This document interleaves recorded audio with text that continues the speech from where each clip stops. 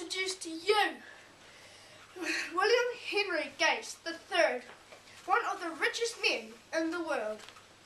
He inspires me because he's the developer of Microsoft. When he was young, Bill Gates loved board games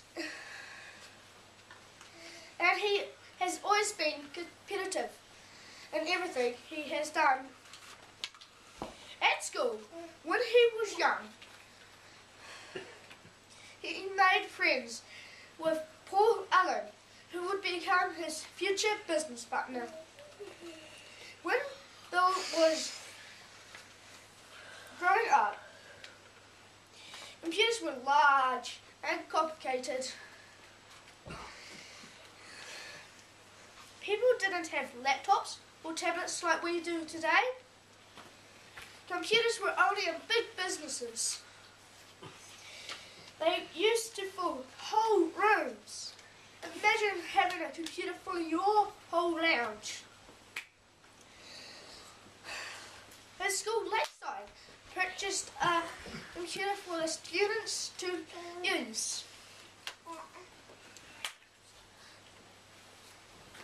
And from that day on, computers have become his life.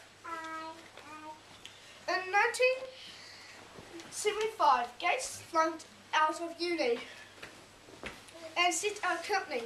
He called this company Microsoft. It changed with best for the best. Microsoft made a deal with IBM. The deal was to provide MCS DOS operating system on the new IBM PC. This would change computing.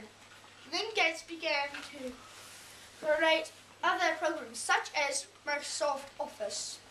We all use this today. Even now I have a Microsoft PC tablet. In 1986, his his company stock was worth 520 million. Bill Gates owned 45%. Imagine that.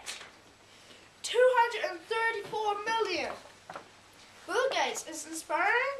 He changed the world for the best. Without computers, Difficult, and I couldn't really develop this speech.